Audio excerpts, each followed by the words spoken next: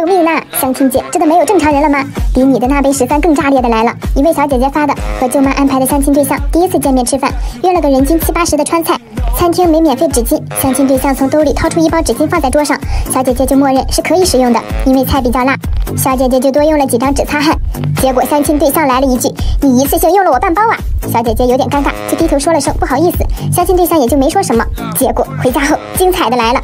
哈喽，今晚的饭一人七十二，还有你用了我四张纸巾，再多给我六毛吧，我真是摊报的。A 饭能理解，一包纸巾，嘿，你那张六毛。